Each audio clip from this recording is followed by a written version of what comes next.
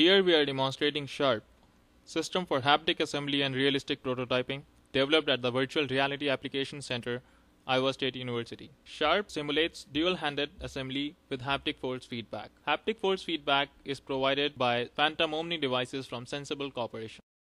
To hold the part, the user intersects its hand with the part and it turns green. For grabbing it, the user pushes the stylus button on the Phantom Omni device. The user can hold two parts at the same time and manipulate them simultaneously. When a collision is detected, the user gets visual, audio, and haptic feedback from the virtual environment. VoxMap point shell software from Boeing Corporation is used for collision detection and physically based modeling. These are industrial CAD models from John Deere Hitch Assembly.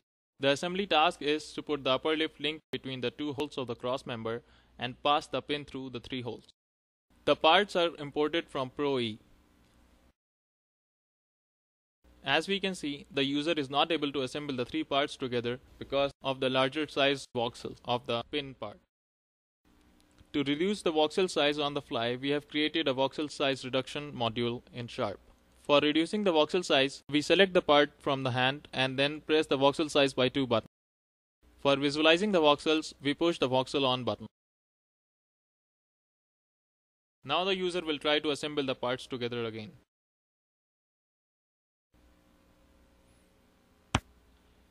Thus we see that using dual-handed haptic assembly we can assemble real CAD models very easily.